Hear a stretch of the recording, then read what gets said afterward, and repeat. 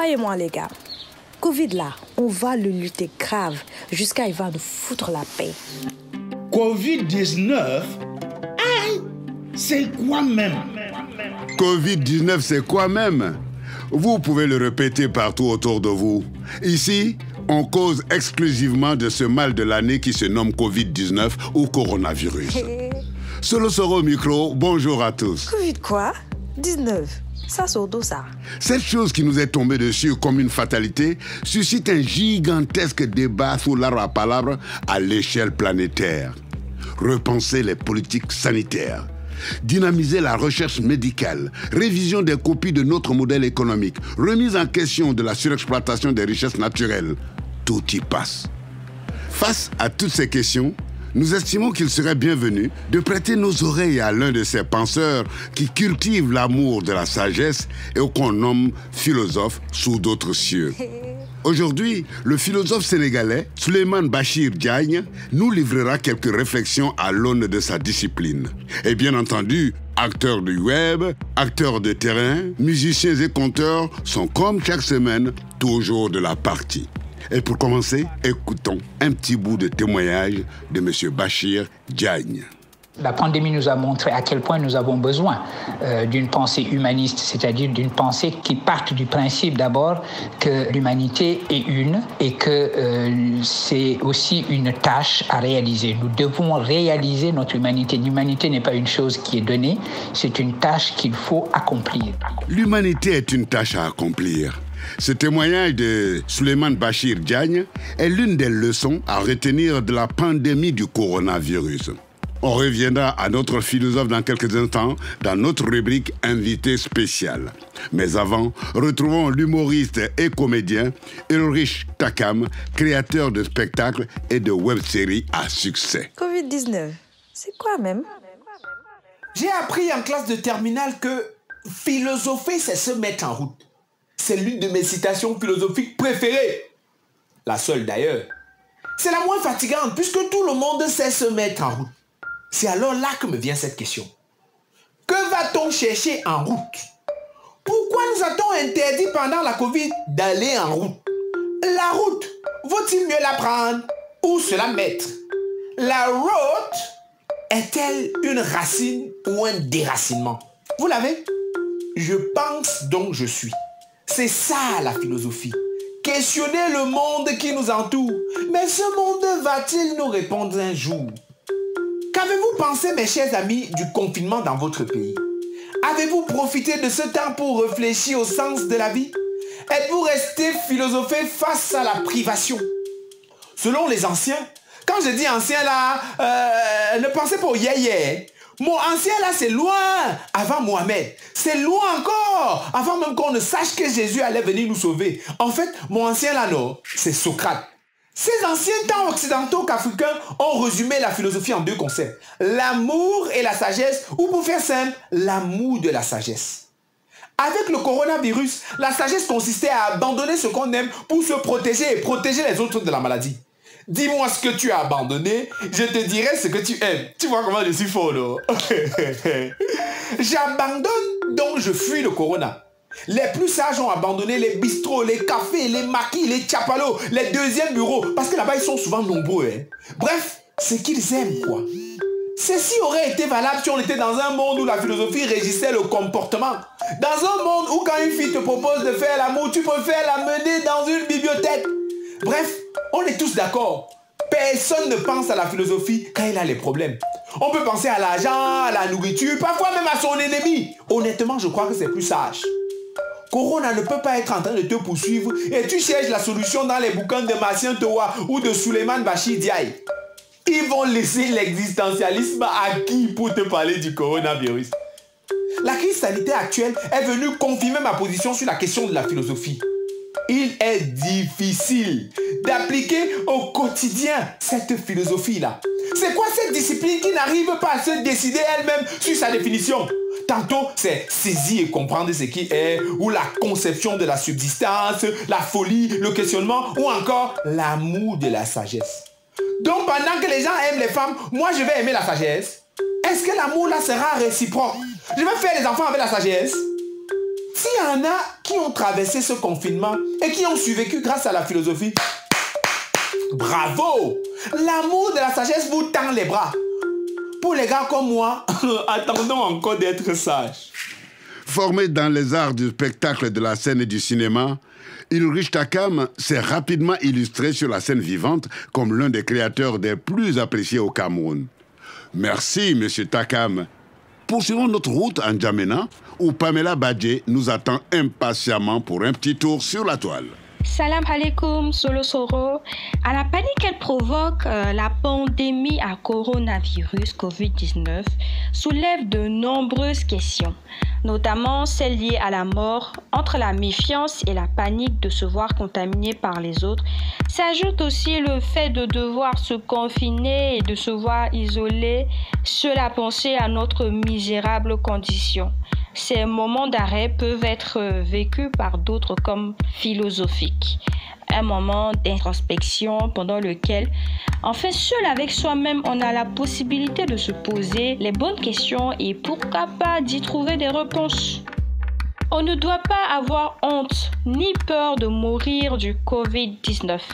C'est le titre d'une vidéo proposée par Scène une réflexion philosophique faite par le professeur agrégé de philosophie Mamousse Jain sur la COVID-19. Dans cette vidéo, le professeur explique que la peur de la pandémie fait passer d'un être à un autre et que de cette peur découle l'équation coronavirus égale mort. Se demander si la vie vaut ou ne vaut pas la peine d'être vécue c'est répondre à la question fondamentale de la philosophie. Sauf qu'ici, dans le cas du coronavirus, nous n'avons pas à nous poser la question de savoir si la vie vaut ou ne vaut pas la peine d'être vécue. Elle nous est brutalement arrachée par quelque chose qui nous tombe dessus, comme si le ciel nous tombait sur la tête, pour reprendre l'expression des Gaulois, sans que nous en sachions la raison. Chers auditeurs et auditrices, si vous ne le savez pas, il y a très peu d'Africains qui consultent un psychologue. Et pour cause, bon nombre d'entre eux pensent que consulter un psychologue revient à être atteint de troubles psychiatriques, à être un fou en gros, ce qui n'est pas vrai évidemment. Il en ressort donc que le domaine psychologique reste tabou et isole encore plus ceux qui ont besoin d'aide. Solo Soro, si je parle de tout cela, c'est parce qu'au bout de la pandémie se trouve la stigmatisation. Une situation que Durang Mathias, un étudiant tchadien atteint par la COVID-19, ne s'attendait pas à vivre, puisque même guéri, il s'est retrouvé sans domicile. J'ai recouvré la santé. Et Dieu merci, je suis libéré. Malheureusement, j'ai vu une stigmatisation au quartier. D'abord, j'étais mal accueilli par ma propre famille qui m'a rejeté. Ensuite, par mon bailleur aussi qui m'a renvoyé de chez lui. Et à l'heure où nous parlons, je suis accueilli à l'église et c'est là que je dors depuis ce temps. Après que sa vidéo a été publiée sur les réseaux sociaux, Mathias a été recueilli par une association et a fini par décrocher un stage au Bureau national du Fonds des Nations Unies pour la population, l'UNFPA. C'est sur cette belle note que se termine cette chronique. N'oubliez pas de vous laver les mains, hein, de vous tenir à distance des autres. Gardez la pêche et on se retrouve la semaine prochaine. Il y a 30 ans, on était loin d'imaginer qu'Internet permettrait de solutionner ce type de situation dramatique. Une vidéo diffusée sur la toile et clic, Dorang Mathias a un logement et même du travail. Merci Pamela Badje pour cette excellente nouvelle. Continuons notre nomadisme et retrouvons le professeur Suleiman Bachir Diagne qui a bien voulu répondre à nos questions par téléphone. En référence à la définition grecque qui enseigne que philosophie signifie amour de la sagesse, on a d'abord demandé à notre invité de revenir sur l'étymologie du concept et nous dire quelle lecture un philosophe comme lui ferait-il de la pandémie du coronavirus tombée sur l'humanité en 2019 comme une fatalité. Vous avez bien fait de rappeler l'étymologie même du mot philosophie, amour de la sagesse, parce que cela signifie nous rappeler aussi que la philosophie n'est pas simplement une discipline où on répète ce qu'ont dit d'autres philosophes, où on lit des livres, mais c'est une discipline qui nous enseigne à vivre. Et une des choses que la pandémie a réalisé, c'est évidemment de nous remettre euh, nous, humains, en face des questions fondamentales qui sont également les questions qui s'inscrivent au cœur même de la philosophie.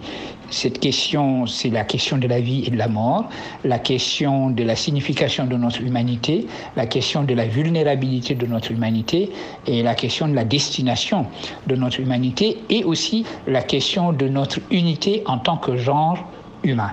Voilà des questions fondamentales que la pandémie nous pose nous sommes confrontés à ces questions-là parce que nous sommes confrontés à notre vulnérabilité, mais également parce que le confinement est propice à la méditation, nous nous retrouvons aujourd'hui en face de ces questions fondamentales et nous avons besoin de toute la sagesse du monde, de toute la sagesse des traditions philosophiques dans différentes cultures et sociétés pour apporter une réponse à ce qui nous arrive. En effet, ce que cette pandémie nous impose, devrait commander un peu plus de sagesse à l'humanité, toute l'humanité. Compte tenu de l'impact de l'homme d'aujourd'hui sur Mère Nature, que peut-on retenir comme cause objective de cette calamité? Ce que nous avons découvert à l'occasion de ce confinement, si je puis dire, c'est que nous pouvons vivre dans un monde où l'air est plus pur, où l'air est plus transparent, où l'air est moins chargé, simplement parce que par la force des choses, nous avons réduit nos émissions de CO2. Eh bien, ce que nous avons fait par la force des choses, c'est le moment dans le monde d'après Covid de le faire volontairement parce que nous aurons compris que nous avons à habiter ensemble une terre qui est fragile. En quelque sorte, la vision d'un monde où les émissions de CO2 euh, auraient été fortement réduites, eh bien, cette vision-là est une vision qui nous vient de l'avenir d'une certaine façon. Et il faut que ce soit notre avenir et il faut que nous travaillions dans cette direction. Il est très difficile de dire il faut prendre les mesures A, B, C. Mais donnons un exemple. Là, on nous a annoncé que la recherche aéronautique va aller dans la direction de la fabrication et la production d'avions qui euh, n'émettraient pas euh, de CO2 ou pratiquement pas, euh, disons. Eh bien, voilà une mesure, par exemple, qui signifie que la recherche va être définitivement orientée vers des produits qui soient des produits qui nous permettent de respecter la nature et d'aller dans la direction de euh, ce que nous avons entrevu à l'occasion du confinement. Mais la mesure plus générale, c'est faire en sorte que l'humanité se retrouve ensemble pour accepter de mettre en place une philosophie générale de protection de la nature, de protection de, notre planète, et une philosophie générale qui consiste à ne pas considérer que la nature, ce sont des ressources naturelles à exploiter dans une compétition capitaliste. Si nous voulons limiter les dégâts de notre habitat qu'est la Terre, il nous faut changer d'attitude vis-à-vis d'elle. On sait que, depuis la nuit des temps, les populations du monde ont régulièrement été victimes d'épidémies ou de pandémies. On a donc demandé à Bachir Diagne s'il a des exemples de notre passé historique qui pourraient rafraîchir nos mémoires. il est important en effet de se rappeler que l'humanité n'en est pas à sa première pandémie. La plus proche de nous, celle à laquelle on fait référence en ce moment, c'est la pandémie de 1918, la fameuse grippe espagnole qui est arrivée juste à la fin de la Première Guerre mondiale était une dévastation pour l'humanité. Les, chiffres sont absolument incroyables. Mais à intervalles réguliers, évidemment, il y a eu de par le monde des pestes, des épidémies et euh, une certaine sagesse s'est imposée devant ces assauts contre notre humanité et ces assauts qui rappelaient à l'humain euh, sa vulnérabilité. Je vous donne un exemple d'ailleurs, une tradition qui a été beaucoup citée à l'occasion de cette pandémie, c'est une tradition islamique, une parole du prophète de l'islam qui disait lorsqu'une épidémie se déclare quelque part Si vous vous trouvez dans cette région, n'en sortez pas. Et si vous n'y êtes pas, évidemment, n'y allez pas. C'était une simple parole de bon sens, ce n'est pas une parole religieuse à proprement parler, mais c'était une parole de sagesse qui est au fond la sagesse sur laquelle euh, aujourd'hui les mesures euh, préconisées par des épidémiologistes se fondent. Donc l'humanité, un peu partout, a appris à mettre en œuvre une forme de sagesse devant ce genre d'épidémie. Et d'ailleurs, euh, le fameux roman d'Albert Camus, La peste, reprend en quelque sorte ces grandes questions qui se sont posées aux humains dans leur histoire à l'occasion de ces pandémies, puisque qu'est-ce que c'est que la providence divine demande le docteur Rioux au prêtre, si on peut imaginer que cette justice et cette providence acceptent qu'un enfant innocent meure de la peste. D'un autre côté, évidemment, euh, il y a le fait que ce genre de pandémie, comme d'ailleurs les grandes catastrophes naturelles, cela a été le cas pour, par exemple, le tremblement de terre qui a à un moment donné pratiquement détruit la ville de Lisbonne. Ça a été un grand moment de réflexion euh, philosophique sur Dieu punissant les humains. Et ceci est un grand mythe que l'on trouve dans les grands textes religieux. La destruction euh, des villes à cause des fautes humaines, grand récit du déluge d'ailleurs, parce que Dieu décide euh, carrément de recommencer les choses, de détruire l'humanité, sauf euh, les créatures qui se seront retrouvées dans l'arche de Noé. Donc évidemment, c'est là une manière de penser qui est quasiment constitutive de notre humanité.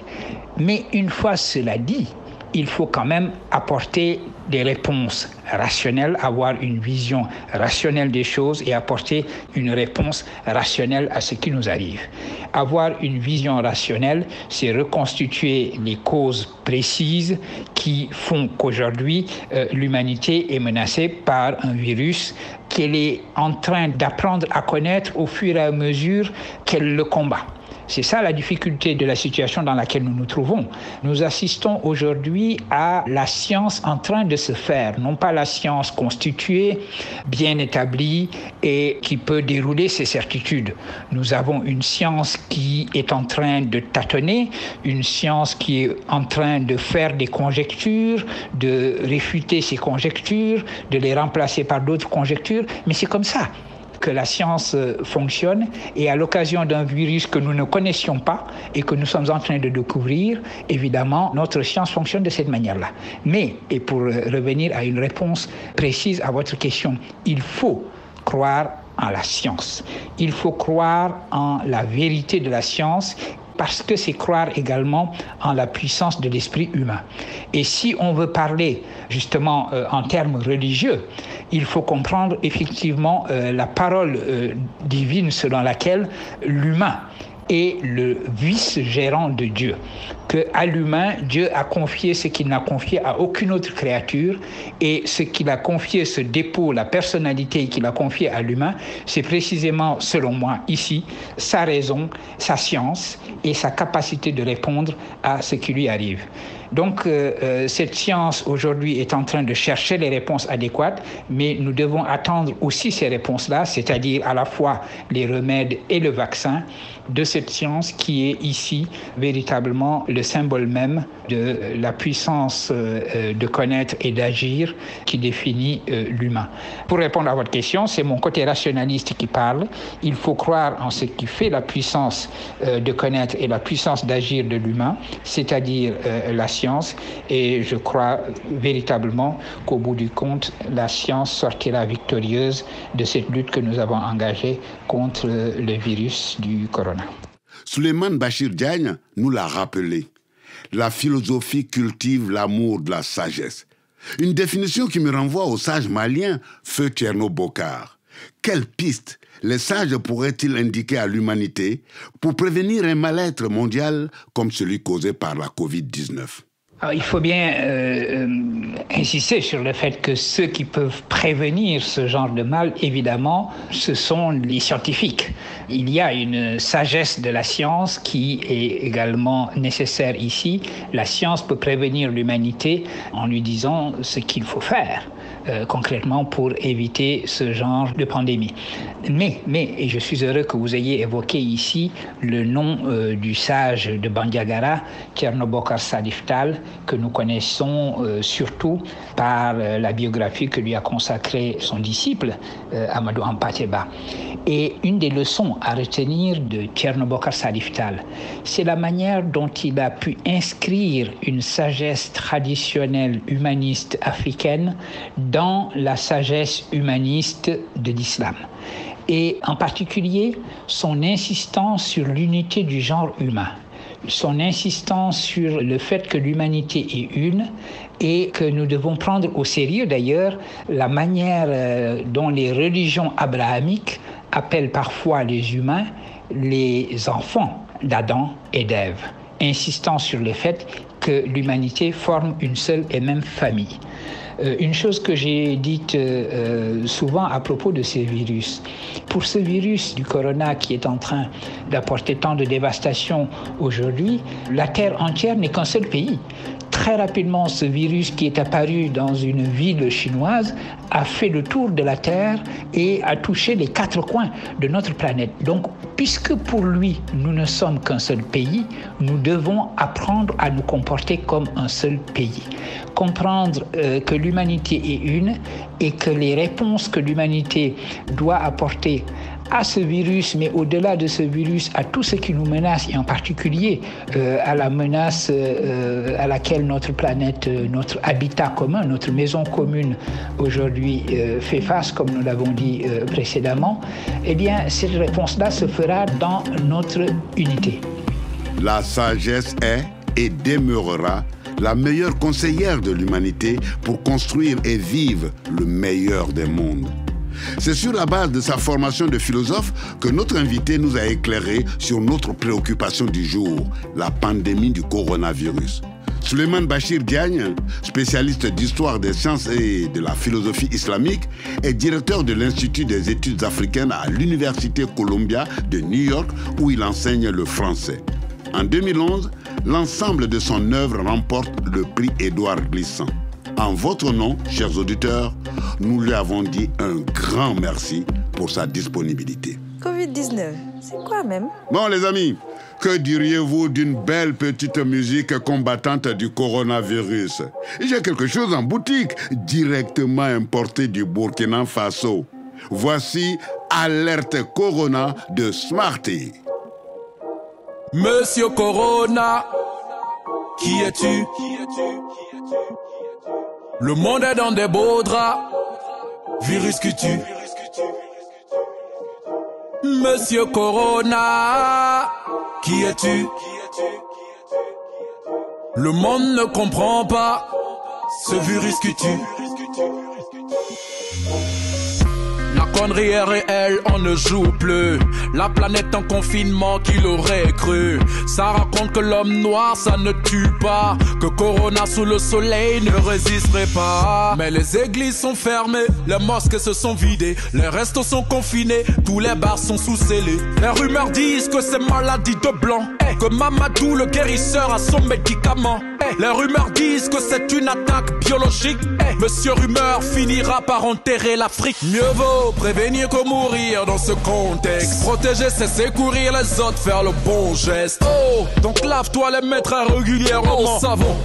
Avant de tousser, mets le coude en avant. Oh, utilise un mouchoir à usage unique. Oh, en cas de contagion, reste chez toi sans panique. Eh, je t'aime bien, mais salue-moi avec ton coude. Si je refuse, faudra pas que tu me boudes. Mais masque connaît le nouveau style est toxique. Que ton meilleur ami soit ton gel hydroalcoolique. Monsieur Corona, qui es-tu? Qui es-tu? Qui es-tu? Qui es-tu? Le monde est dans des beaux draps. Virus que tu. Où vas-tu? Où vas-tu? Où est là Qui es-tu Monsieur Corona, qui es-tu? Qui es-tu? Monde ne comprend pas ce virus que tu. Où vas-tu Où vas-tu Où vas-tu? En cas de contamination, ne paniquez pas. Restez chez vous. Appelez votre médecin ou le numéro vert. Gardons cette chanson de Smarty en boucle dans les oreilles et respectons scrupuleusement ses recommandations.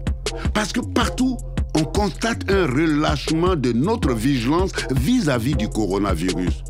Les scientifiques n'ont pas encore trouvé un médicament ni un vaccin. Donc la lutte continue. À présent, direction la Mauritanie, où l'environnement est au centre des préoccupations de l'ONG Selfim Balit, dirigée par Madame Aminetou Bilal. L'objectif de notre association, c'est la défense de l'environnement et la promotion du développement écologique en Mauritanie. Euh, avec cette pandémie de Covid-19, nous nous sommes engagés auprès du ministère de la Jeunesse dans des activités de prévention, notamment la distribution de masques et la sensibilisation des citoyens sur euh, l'importance de porter son masque, de se laver les mains régulièrement ou d'utiliser euh, les gels hydroalcooliques. Nous avons également procédé à des distributions de kits alimentaires composés de produits de première nécessité, à savoir le lait, le riz, l'huile, du savon. Actuellement, sur les plages à Nouakchott, les gens continuent de passer du temps malgré les consignes sanitaires. Et euh, il y a aussi la problématique des masques qui sont jetés et qui vont directement dans les océans. Nous savons tous que ces masques prennent des années à se détériorer. Donc mon message, c'est que nous devons préserver notre environnement pour le bien-être de tous et aussi euh, respecter les consignes barrières pour endiguer cette pandémie de coronavirus. Comme nous pouvons l'entendre, en Mauritanie, Aminetou Bilal et son ONG se serrent les coudes pour la lutte contre la pandémie coronavirus. Nous voilà sur notre dernière ligne droite. Notre compteur national Binda enfonce le clou de l'inconscience de l'homme vis-à-vis de notre première richesse, la nature. Il se nommait Mbonga. Mbonga était un ingénieur de travaux sorti d'une grande école occidentale. C'était un intellectuel brillant. Tellement brillant d'ailleurs qu'il lui arrivait parfois de s'éblouir lui-même au point de sombrer dans une profonde cécité intellectuelle. Rentré au pays, il s'était vu confier une mission exaltante qui consistait à raser la dernière forêt sacrée qui se trouvait plantée en plein centre-ville au beau milieu d'un quartier populaire. Sa mission? Transformer la forêt en projet immobilier ambitieux, susceptible de rapporter des profits juteux. Seulement voilà, d'étranges rumeurs circulaient à propos de cette forêt. On disait que même les colons n'avaient pas pu en avoir raison. C'était d'ailleurs pour ça qu'elle était restée plantée là. Mais Mbanga n'était pas le genre d'intellectuel africain qui croit aux histoires de spiritualité traditionnelle africaine, non. Mbanga était cartésien. Il se prénommait Thomas. Comme son saint patron, il lui fallait voir pour croire. Ce jour-là, il descend sur la forêt sacrée avec un escadron blindé de bulldozers. En un tour de manivelle, la forêt est rasée. Il rentre chez lui, fier du devoir accompli.